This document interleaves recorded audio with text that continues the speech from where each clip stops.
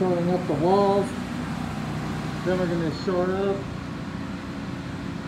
the roof rafters and the wood membrane. We're going to shore up the roof.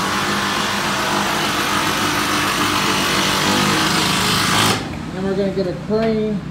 We're going to strap the crane to the ridge. After everything is shored up, then we're going to take booms and have a boom on each side.